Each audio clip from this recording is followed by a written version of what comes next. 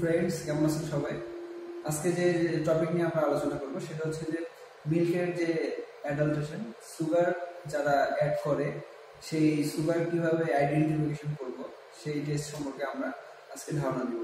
তো প্রথমে আমরা চলে যাই যে টেস্টটা কীভাবে করতে হয় সেটা আমরা বলি। প্রথমে টেস্টটা প্রথমে আমরা হচ্ছে যে স্যাম্পল মিল্ক নিব ten M L sample milk ten M L নেওয়ার পরে আমরা নিব হচ্ছে যে হাইড্রোক্লোরিক অ্যাসিড নেব ফাইভ এম এল এবং ওয়ান এম এল নেব হচ্ছে যে রিসার্চনাল ঠিক আছে? তারপর আমরা আসলে রিয়েজেনের সাথে পরিচিত হই এটা হচ্ছে যে রিসার্চনাল ten percent hydrochloric acid concentrate okay আর এটা হচ্ছে স্যাম্পল মিল্ক তো প্রথমে আমরা যে টেস্ট টিউবে নিব টেস্ট টিউবে নেওয়ার পরে প্রথমে আমরা হচ্ছে মিল্ক নিব। টেন এম মিল্ক আমি আগেই বলছি।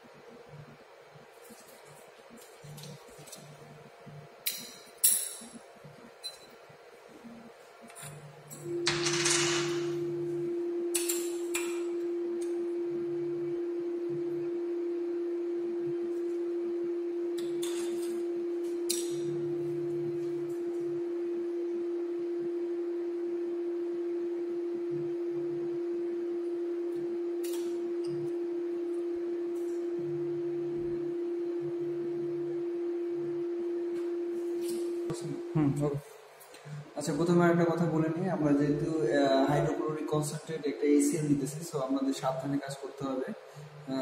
অবশ্যই কোনো দুর্ঘটনা যেন না ঘটে। আর সেকেন্ডলি হলো যে, এরপরে আমরা নিব হচ্ছে যে রিসার্চ রিসার্চনাল টেন পার্সেন্ট যেটাকে আমরা আইডেন্টিফাই করতে পারব। হচ্ছে, এটা হচ্ছে যে, যদি একটা ইন্ডিকেটর হিসেবে কাজ করবে, যে আমাদের মিল্ককে এটা হচ্ছে ওয়ান এম এল করে। ওয়ান এম করে নিলাম ওয়ান এম এল কে নেওয়ার পরে শেক করব আমরা। শেক করার পরে এভাবে ধরতে পারি আমরা। শেক করতে পারি।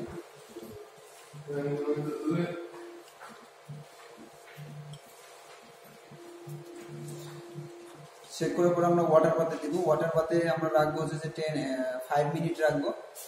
টেম্পারেচার থাকবে হচ্ছে ওয়াটার বাতে ফর্টি থেকে ফর্টি ফাইভ ডিগ্রি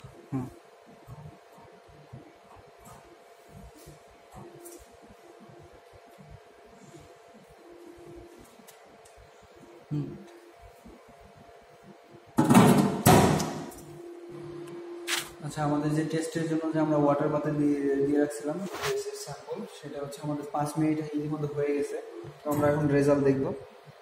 যদিও। তো আমাদের এটাতে দেখা যাচ্ছে যে সুগার পজিটিভ তো এর মধ্যে আমাদের সুগার অ্যাড করা হয়েছে। আর এটার মধ্যে সুগার কোনো অ্যাড করা হয়নি তো দুধের মধ্যে যদিও এটাতে সুগার অ্যাড আমরা একটু বেশি করে ফেলছি, তবে যদিও দুধের মধ্যে ল্যাকটোজেন থাকে ল্যাকটোজ থাকে সো যদিও একটু আসার কথা, তবে এখানে হালকা আসছে, অত আসে নাই। তবে এখানে অতিরিক্ত বেশি আসছে, কারণ এটাতে সুগার অ্যাড করা হয়েছে। তো আমরা এটাতে বুঝলাম যে রেজাল্ট হচ্ছে যে যেটাতে আমরা রেড কালার আসবে রেড কালার আসবে, সেটাতে আমাদের কি সুগার পজিটিভ তাহলে এটা দিয়ে আমরা আইডেন্টিফাই করতে পারলাম যে কীভাবে সুগার টেস্ট করা হয়। থ্যাংক ইউ সবাইকে, এবং আমাদের সাথে থাকার জন্য সবাইকে ধন্যবাদ। অবশ্যই চ্যানেলটাকে সাবস্ক্রাইব করবেন। Thank you